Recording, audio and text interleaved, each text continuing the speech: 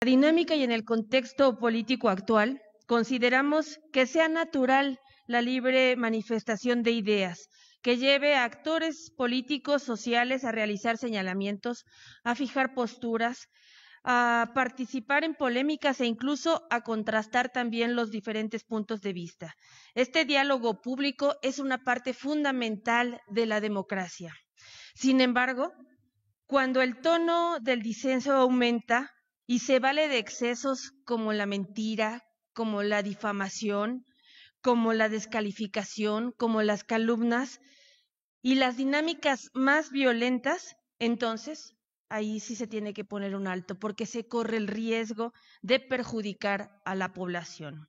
Hemos observado particularmente que aquellas mujeres que levantan la voz, que levantan la mano para participar activamente dentro de su función política, dentro de su función pública, en todos los órdenes de gobierno, son quienes están más expuestas a sufrir algún tipo de violencia.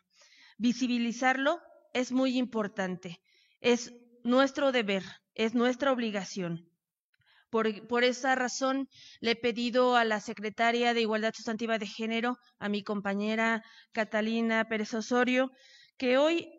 nos pueda compartir las estrategias para abonar con mayor contundencia a este tema tan importante y tan necesario que en estos momentos está